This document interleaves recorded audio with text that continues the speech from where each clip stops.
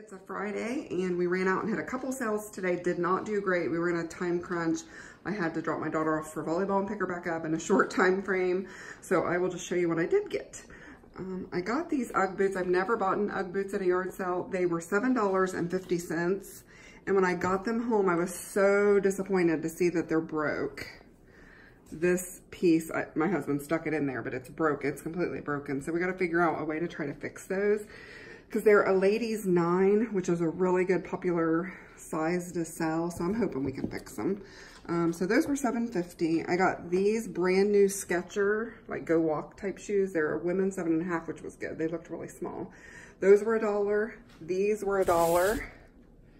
And these are, were a dollar. These need cleaned up. So I'll see what I can do with those.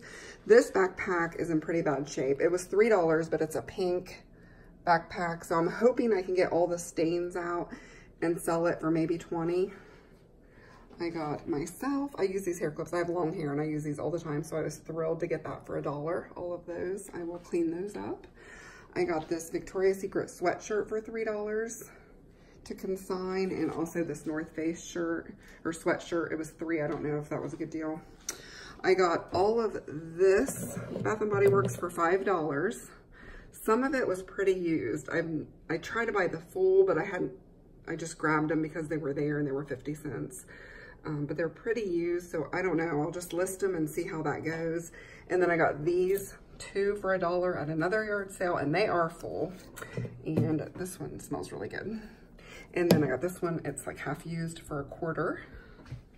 I got myself a pair of capris to wear to school and this nightgown for myself. So I thought that was really pretty. And that's all I got today, just a small haul. I think Cooper's up here wanting to say hi. So thanks for watching.